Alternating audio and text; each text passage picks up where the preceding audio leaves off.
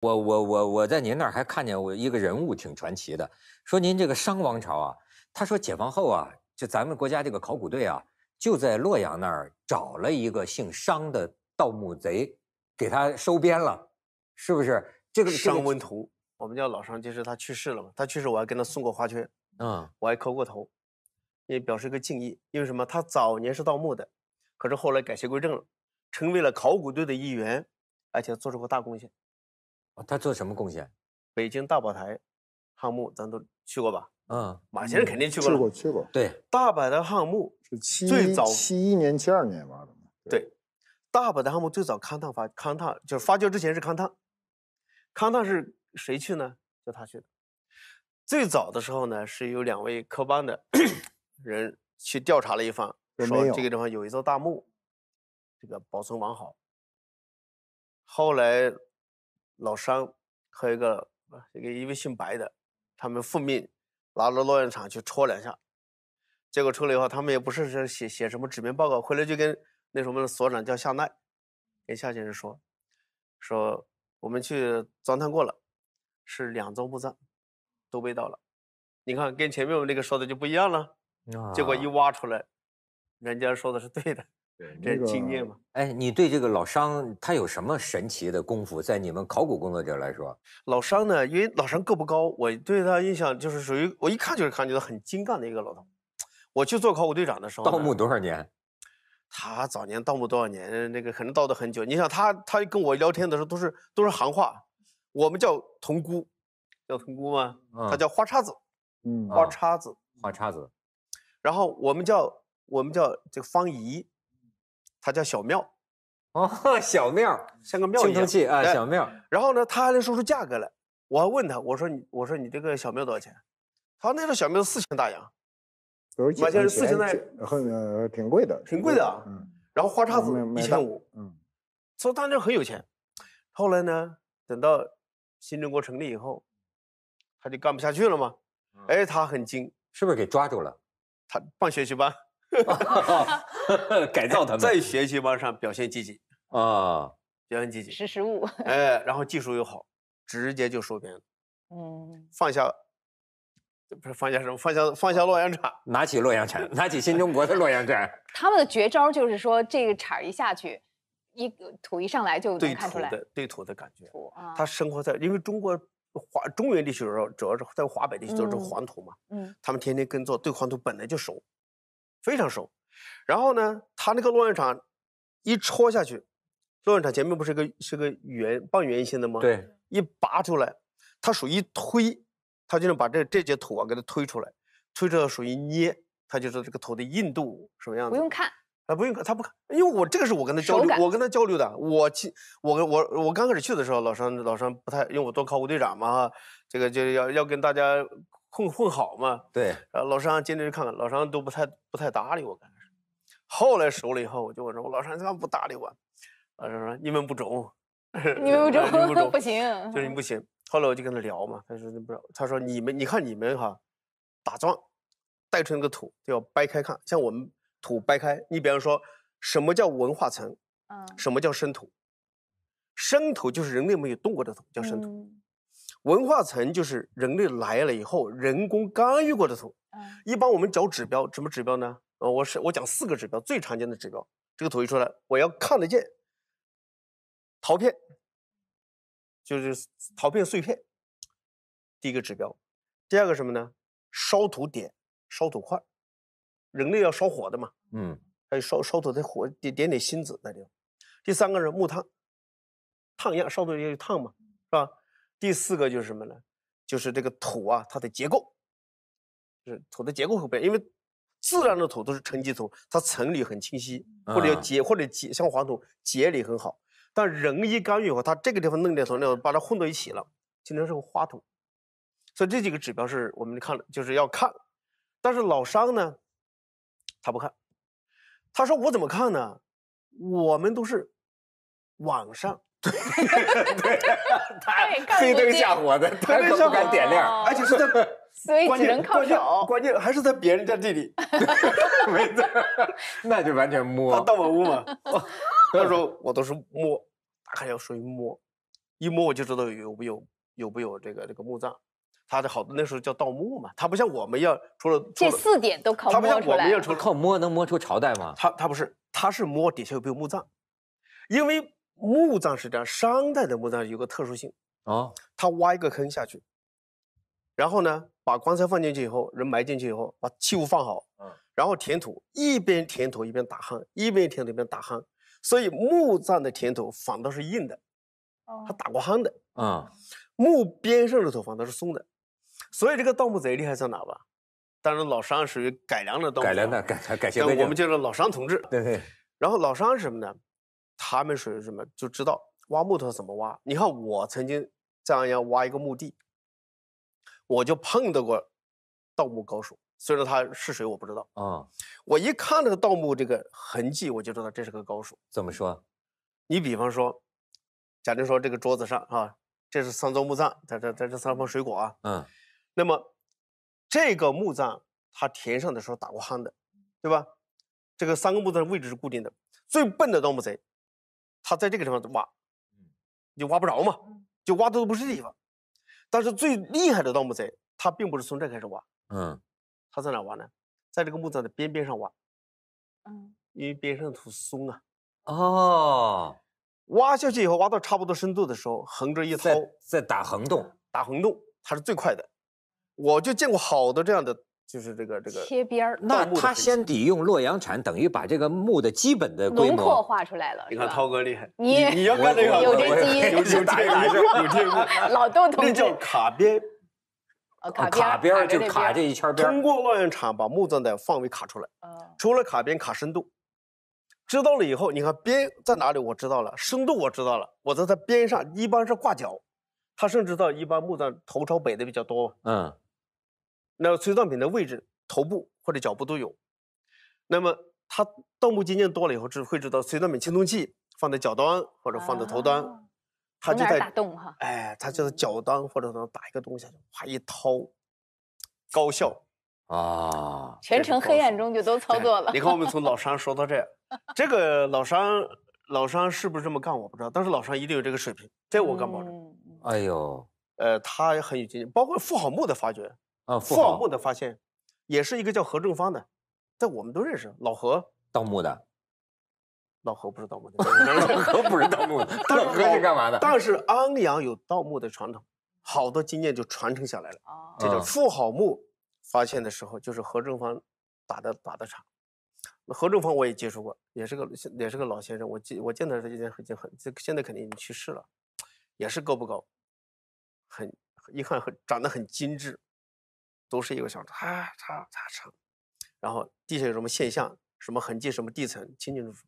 其实现在我也能分出来，那不是太复杂。对，不是吧？复您学学，我不用那看，你知道那个，你注意看一些这个这个这个展览都有，它是完全不一样的，它不是像你那个说他们完全一样，那个土只要一搅动，生土和熟土是看得见的。但是呢，它是的，有的时候他有人他有丰富的经验，对，救中国的那个盗墓贼是啊，你你说盗墓，他说他是个手艺，他是靠这活着的，那时候也没人管嘛。你现在是因为有中华人民共和国文物法管着，所以为什么不能盗墓？那当然不能盗墓，就是我的意思是说，这个盗墓啊，它它其实破坏了很多考古信息。是是是，就比如说，因为呢，它这个东西在里边搅和的乱七八糟，其实本来呢，你看，就像他说的，不同的土层东西摆在哪儿，能判断很多。嗯比如说，就是您刚才一问题还没说呢，他发现这个环北商城这个土为什么被烧的都是酱红色，这个能判断出一个什么信息？我的观点就是很可能是政治事件，是吧？大家看得见那为什么不是失火呢？啊，他不是烧烧这一座，整个宫殿全烧了，那么大的建筑，一点七万平方米，院子就一万个平方，那不是普通的人，那烧的是政治家的办公场所呀，嗯对吧？这个这个很重要吧？那么为什么呢？再看这个，商王朝从建国成汤建国到商纣王失国，所谓妲己是吧？失国，这一系这个王系是清晰的。本来呢，他是这个父位子承，就父亲的王位，儿子继承，兄终弟及，嗯是吧？兄长走了，弟弟继跟上，承啊，这是一个这是一个继承的规则。商早期、商晚期都都对的，只有商中期，叔叔的位置侄呃位这个侄子的位置叔叔给夺走，叔叔的位置侄子他就乱了。嗯这是一这是一个不这个感觉这不像是个巧合。再看呢，文献里头有个说法叫商王朝中期，这是司马迁的《英本纪》里头说，叫比九世乱，就是相就是商王朝中期的时候，他这个王位传承就是乱的，刚好这个商中期刚好是商中期，而且还你想想，如果是一场火烧掉以后，它有可能还要重建吧？对，这个居然没有重建，哦，所有种种现象加到一起，我宁肯相信是政治事件，王位传承造成。当然，这个是我的一个一个推测，但是考古是讲证据的嘛。我到目前为止，我讲我只是一个推测，我相信是，但是你看我没写文章，哦，就私下里告我了。哎，但是你这样让我们对这个商朝啊，你说商朝人是一种什么人？比如说有一点，像刚才说的，就商朝人爱杀人，杀人祭祀是个正常现象。是，但是为什么孔子说嗯，“郁郁乎文哉，吾从周”？他为什么要附周礼？他不附殷礼，嗯，你你说明殷周有巨大的差别。对，当然，我要我这叫应该叫商周，商周是吧啊，那有巨大差别。因为什么？商人他是杀人的，他真不把人当人。你想想这个王王陵区，这么多人杀的呢，十个十个一组，那商周人数学好的很，那石敬制数学好的非常非常非常好。你看刚才这房子的台阶，台阶之间的距离是大概是相等的，说明他量过呀。那抽走那个铜矛，是十个十个一捆呢，十进制没问题啊。嗯，你看那甲骨文数字很好，但是商朝是杀人，他是生干僻的杀他什么哪种情况下杀人？是干什么事儿杀人？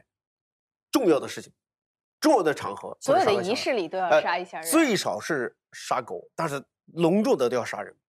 所以你看，我们挖我们挖墓的时候哈，你看我们就自己挖墓，像我挖过很多哈，带着我的考古队，我挖我可是干过很多这样的这个，按照传统的说法是不好的刨坟掘墓，啊，但是呢，但是呢，我看的时候，我看见只要是这个墓是商代的，规格高，基本上都要杀人，殉葬人、杀人杀到杀到里头。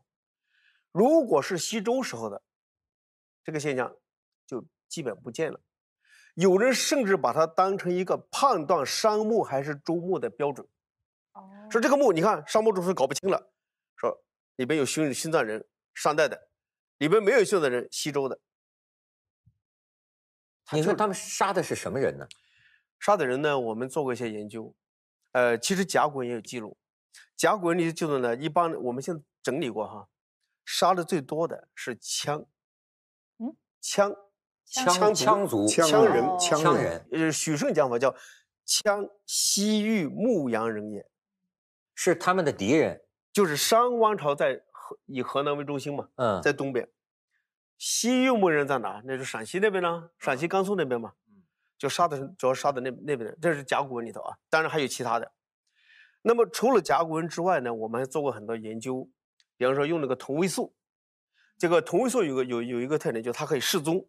你比方说这个这个像像我，我是湖南人，啊，我从小呃在我在湘赣边界长大，嗯，那么我喝的水是相关边界的，对那，么我的骨头里的，以及我牙齿上珐琅质里头的丝同位素是当地的一个记忆。啊对对对，但是后来我到北大上学，我在北京读书，在北京生活，逐渐逐渐的，我的骨头里的同位素就变成了北京本地的了。啊，但是我牙齿里头的珐琅质里的同位素是不变的，哦是永永永远是这样的。就是说牙齿跟骨头的这个这个同位素的水平，就能记录你到底在哪里，或者从哪里到到过哪里。嗯嗯，那么商朝的这个人骨头，我们做过同位素，我们现在做的结果哈，做了我们做了不少啊，都跟本地跟安阳本地的人不是不是一回事儿。商朝人本身是河南这边的是吧？嗯，但是杀的人被杀的人，就是战俘吗？就是，比方说奴隶，甘肃东南部、陕西西部，哦，甚至南部都有，但主要是那边的被他们抓来的外族抓来的，抓来的俘虏。嗯俘虏哈，俘虏，杀鸡。嗯你想想，还有还有把老把头给砍了，在盐里头去煮的呀，你怎么知道在盐里煮？我看见了，你看见你 桃子，你穿越了，你你看见的在盐里煮了。我看，我跟你说是这样的，这个是 最早的，我到安阳队这个，越看见我越去的时候说越有画面感我去的时候啊，我就看见一个青铜眼里头有个人头，然后呢，到了九九年，我一同事挖墓，又挖一个眼，里面又有一个人头，我都看见了。我说的是看见这个两两这两个人头在眼里头啊。然后呢，我说呀，我说这个就不是开玩笑的，眼里头个人，这眼是个正啊，对，他把人头砍在里头去蒸啊，这是个重要现象，我得研究啊。盐本来就是个蒸汽，中间有个篦子，底下放水，嗯它可以烧火。但你不能靠这个就证明它是蒸过嘛。我拿个拿个小镊子夹了一小片，嗯然后把它一撅。你知道这个人骨头，因为我摸过的骨头很多了，不是我刚才不是开玩笑说，我这个时候还拿过曹操呢，是吧？嗯然后呢，我把这个我把这个小骨头片拿过来，把一撅，因为这个人头蒸过以后啊，撅开以后，它那个断茬是齐的，就基本上是齐的。啊，哦，它蒸过嘛酥酥了嘛啊对对对，可是呢，如果是你要是新挖的人头，你一个是很难撅断，再个一撅，它是个锯齿状的。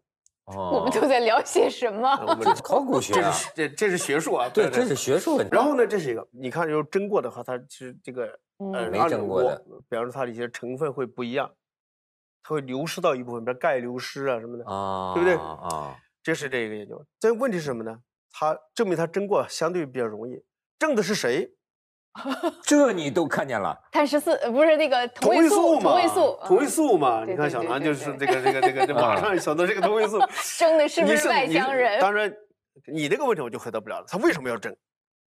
嗯，这个还得继继续研究。当然，可能各个原始民族都有这个曾经有一段特别杀人的阶段。你比如说像南美那个，呃，嗯就是阿斯特克呀，什么玛雅文化，你我们去那儿那遗迹也是啊，没事儿就杀人，然后就把这专门有一个台子嘛，躺在台子上。我估计当时的这种血迹啊、人迹啊，近乎于一种狂欢。后来孔子有一句话叫“始作俑者，其无后乎？”呃，始作俑者，俑就是这个这个这个这个用用陶陶土做俑，陶土或者木头的？木木头的俑嘛，就是都代替了。对，最早代替是人，最早是人，这个这个原始的这种野蛮现象，这个全全人类的这个是个共通现象，就是它文明是一点一点认知的嘛。它主要是这里比较难解释的，它为什么要争它？你我按照我们现在的思维就可以去推，因为人类的思维是有惯性的嘛。这第一呢，他肯定，它要不然就要自洁，就要它干净。你是不是蒸过的以后东西都干净了？要不然就是报仇，就是我的把把你蒸了，是千刀万剐，我是给你加温，嗯就发泄发泄这种愤怒。那要干净就有可能是祭祀，你知道吗？他要干净的东西，你看现在祭祀啊，现在有时候香港拍个戏，前面还宰个生呢，弄个那都弄得干干净净的，是不是？他得弄干净了它。所以他你可以慢慢去推它的，这些都是推测。所以他们说这个司母戊大方鼎啊，说可能是整生，就就是那么大啊，嗯，就一整个整只猪啊，整只牛啊，甚至是放在里面那个里里里边煮它。这个有一些有一些道理，有有点马先生讲那个也对，他有有线索在后头。你不是说刚才我说我不回答，我说我回答不了，是因为从学术上讲要慎重一点嘛。嗯但是呢，我觉得我觉得这个人这个这个人被杀的这个这个事儿啊，还是可以做一点点解释的。我们甲骨文这个是大家都熟悉，但是还有一种文字叫叫头骨刻辞，就人的天灵盖上面刻字，啊，刻的什么呢？我说两例哈，一个叫足以伐，足以嗯，就是这个他祖先伐就是啊，砍头，割掉头脑袋，嗯然后一个是方伯用，方伯是方伯，就是方就是另外一个小国家，就是对于商王朝来讲，那叫方。嗯那个国家的伯，伯就是他的首领或者是另一个王方伯用。这两个天灵盖呢，都是什么？商王朝之外的别的国家的老大。所以这个这么一结合的话呢，有可能是复仇啊，或者祭祀什么诸如此类的，这个是可以嗯推测的。但是你这个从学术上讲，我只能讲到这儿。您说这个发现这个商城，那就是说它有那么制胜的那时刻，比如我这一下子这一铲下去，我终于知道有东西，但是不是会也有那种漫长的等待，或者甚至是无用功的时期？就是我我其实这个推论或者我我要花很多的时间去，大多数的时候都是默默的默默的做事，这是肯定的。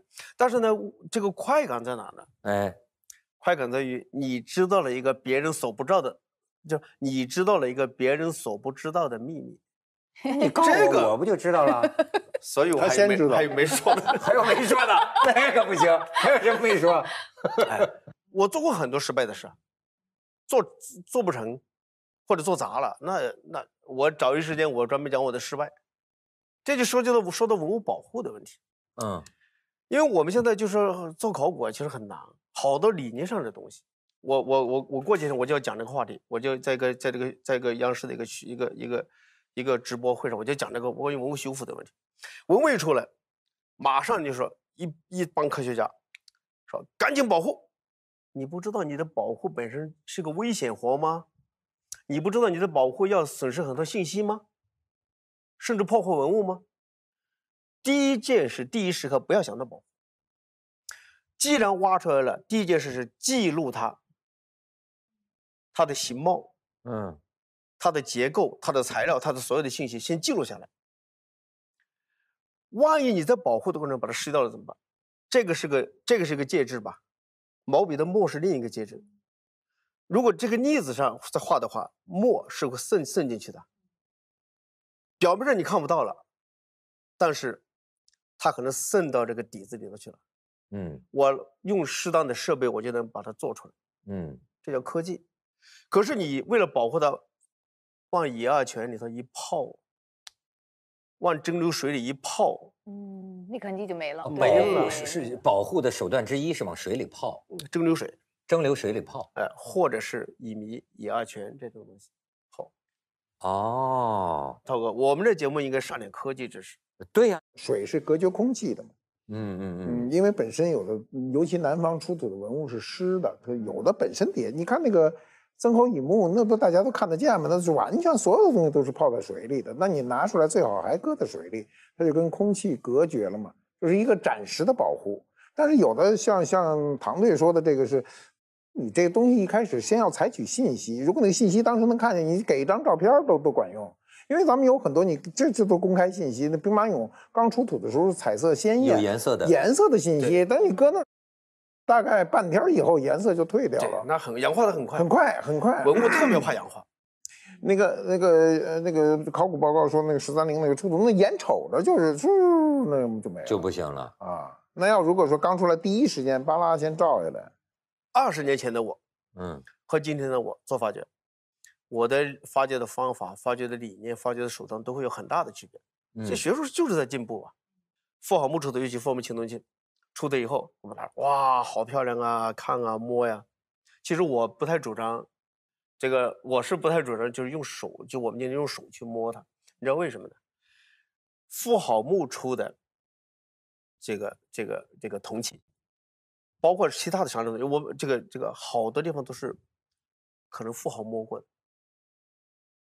嗯富豪摸的时候，比方说比方说有个有个富豪墓里出个玉像，非嗯常漂亮，这个玉像摸的很光，嗯那个说不定就是富豪摸过的。他摸了以后，你再去摸摸，我天啊，好漂亮啊，摸摸。假定有一天我可以从里头提取富豪的 DNA，然后就变成你的了。富豪摸过，上边还有它 DNA 指纹，你能存三千年。你不能排除这种可能性啊！科技的发展，我跟你说，我我最近做了个研究，我把深圳的这个就是深中通道，不是修深圳，从深圳修个通道修到那个那个中山嘛，深中通道边上挖了，就是发现几个六千年前的坑，出的一堆陶器，比如这个这个是陶釜嘛，嗯我把同样的是陶釜，但是是六千年前深圳的陶釜拿去做热裂解，这个这个设备叫气象色谱质谱仪，因为这个东西，比方说当年煮过鱼汤，嗯。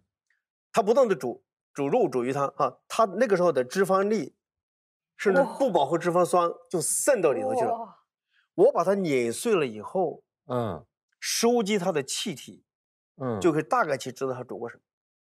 天哪！煮过什么？几千年前煮这个是我我跟北科大那个这个魏书亚教授我们做的合作，我们就发现六千年前的深圳人煮过蜂蜜啊，哦，你能你能这样把它的分子给提取出来，所以就不不确定说哪天我们提取富好的脂这脂这个这个，富好的 DNA，对啊，就是随着这科技，其实这个，对我们不可预料的。我们就不可所以现在就要把所有的线索先收集住。你比方说，马先我给你讲一个，您肯定是这个话题一定会有兴趣。嗯我们曾经挖过一个青铜鹤，嗯，挖出来以后，一看这个器物，这个地方长了锈，就长锈，但是这个下半截不长锈，嗯你以为这是什么简单的事啊？它不长锈是因为当年用这个鹤的时候，它老这么抱着往里倒，抱着倒，嗯，人的各种哦油脂啊什么东西，把这个包裹起来了。啊干干净净的。这个嘴，这个这个瘤这个地方，它它不不老去摸它嘛，它要它要干净嘛，然后到到对，长锈了。全是锈，就锈这个时候一点锈都没有。包浆啊，那是那个时候三千年前的包包浆，我觉得这个事就值得重视，说不定哪一天从里头就把古人的 DNA 给弄出来了。啊对，弄出来那个几十年后，这技术发达了，复制一个富豪，活了我 们可。以展望一下。又说向了恐怖的那一端。对对对。哇，哎这个，马爷，您这个的这么喜欢这个古董哈，您觉得跟这个考古是个什么关系？呃，考古最重要的意义是在于呢，它通过科学手段的发掘，还原历史的一个真相。文物它一旦脱离环境，文物有很多种，一种是传世的，还有一种是出土的。出土我们先限定为出土文物，出土文物一旦它脱离那个环境，它的信息往少了说丢一半儿。就是你比如说，我们很简单，呃，一个器皿它搁在左边和右边，它代表的意义是不一样的，对吧？那你你你你扔到这社会上，这个就就丢失了。所以考古，嗯，当然这考古的历史并不长，考古有一百多年的历史吧，从欧从上个世纪初啊，对对，考古并没有多长。我们考古，你像吕吕大林的考古图什么的，那中国人考古原来是考据，是论证对啊。对，后来我们是借用这个这个词儿了，这个词儿很早，宋代就有了嘛。其实考古作为一种科学，它还是从西方传入我国的。嗯，而且考古舶来的学科呃，考古有一个就是你你听着唐队在这说的那么热火朝天的，其实它是一个很苦的过程。呃，小南就是一副一副就是看电影不不嫌事儿大的，老是说 什么惊险呐、什么刺激啊，他没那么惊险和刺激，大部分时间是枯燥无味的，对了，刚才就浓缩成现在是惊心动魄的。回答你那个问题。就是他没有那个惊他，我跟你讲个例子，过去是交子是吧？就北宋呃宋代的交子，再往前铜钱还有铜钱，然后什么什么铜宝、五铢、半两，商代呢海贝。对，但是有人说海贝不见得是货币，你凭什么说是货币啊？然后呢，我就想着，哎呀，如果商代海海贝是钱的话，那么海贝在出土的现场一定有个数量关系，嗯对不对？是三个一组还是五个一组啊？我就找了一百多座墓葬，然后我就去数那个海贝之间这个部分是几颗，那个几颗数。你想一百多座墓葬，一个小纸包给它剥开，我鼓捣一个礼拜。我那时候我那时候我还比较胖，夏天天天在这搞，然后可是弄了两天以后，我的前任杨先生杨先生过来了，你干什么呢？我说我看看那些海贝有数量关系没有，有有有计量关系才是钱，不没有计量关系是不是钱？人家是这个这个要要考虑一下。说哦，然后我就发现他每天过来看一次，每天过来看一眼，然后呢，最后我弄完了，我一礼拜啊很累的，然后我没有发现任何规律，我就很沮丧嘛。嗯，他叫杨先生过来了，怎么样？弄弄了没有？弄呃弄完没有？我说弄完了，有规律吗？我说没有发现规律，我早就做过了。